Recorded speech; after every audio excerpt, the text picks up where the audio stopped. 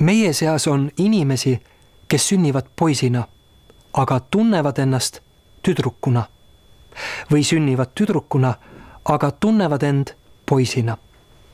Nende keha lihtsalt toimib niimoodi. vahet pole, millisena keegi sünnib, kõik inimesed on võrdsed. igaüks võib riietuda ja käituda selle soo järgi, kellena ta iseennast tunneb kellelgi ei ole õigust selliseid inimesi halvustada.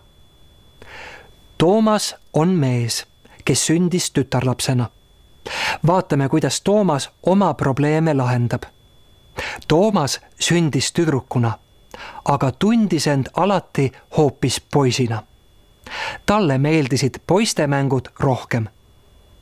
kui Toomas suureks sai, otsustas ta arstidega nõu pidada. arstid uurisid põhjalikult Toomase keha. uuringud näitasid, et Toomasel on tõesti põhjust ennast meheks pidada. arstid määrasid Toomasele sobivad ravimid. ravimite mõjul hakkas Toomasel habe kasvama. tema hääl muutus jämedamaks.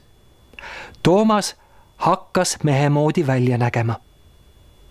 nüüd otsib Toomas endale uut töökohta.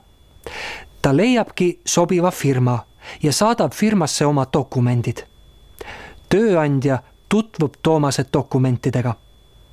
Toomas kutsutakse firmasse vestlusele. aga tööandja ei tea Toomase nime. ta ei tea ka, milline Toomas välja näeb. tööandja teab ainult Toomase isikukoodi. Toomasel on naise isikukood, sest ta sündis tüdruku kehas. tööandja arvab, et töövestlusele tuleb naine. kui tööandja Toomast näeb, on ta algul natukene segaduses. Toomas näeb ju täitsa mehe moodi välja. vestlus läheb siiski hästi. tööandjale meeldivad Toomase oskused. Toomas saabki firmas tööd tööasjus on tähtsad inimese oskused, teadmised ja kogemused. kõik inimesed on erinevad. vahet pole, millisena sa oled sündinud. teistega võrdväärne inimene oled sa ikka. sa võid elada selle järgi, kuidas sa ennast tunned